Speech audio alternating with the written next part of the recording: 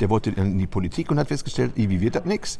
Und hat er gesagt, so jetzt setze ich mir eine Perücke auf und schraube mir Plastikbrüste dahin, wo auch echte sein Wären. könnten, wenn ich eine Frau wäre. Ja. Und auf dem Ticket ist er dann ähm, über die, auf die, bei den Grünen über die Landtagsliste, über die Bundestagsliste in Bayern, glaube ich, ne?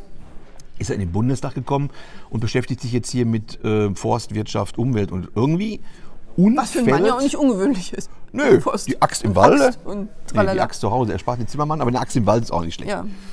Äh, ja, und beschäftigt sich also mit diesem Politikbereich, aber er hat dann auch noch diesen Fetisch für sich entdeckt, also jetzt richtig so zu tun, äh, als wenn er eine, Eine Frau wäre. wäre. Nein, dazu kommen wir ja gleich.